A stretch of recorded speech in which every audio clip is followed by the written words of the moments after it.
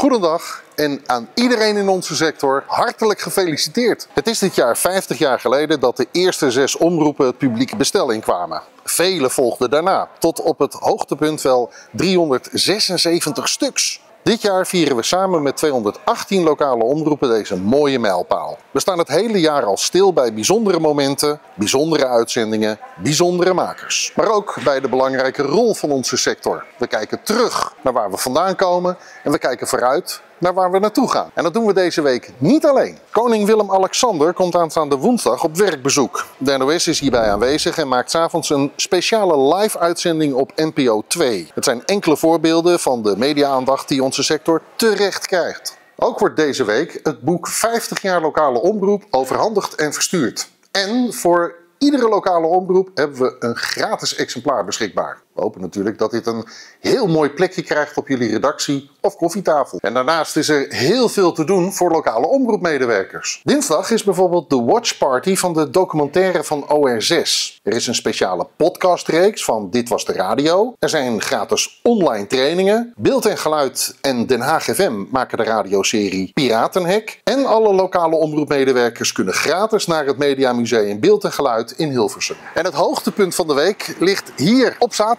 we beginnen met een bomvolle inspiratiedag voor alle omroepmedewerkers. Daarna gaan we door met de lokale Media Awards en gaan we zien wie welke prijzen in de wacht gaat slepen. En zaterdagavond sluiten we het jubileum knallend af met een groot feest voor iedereen die in de afgelopen 50 jaar bij de sector betrokken was. Ik wens iedereen heel veel plezier en hoop vele van jullie aan te treffen bij al die activiteiten. Op naar de volgende 50 jaar.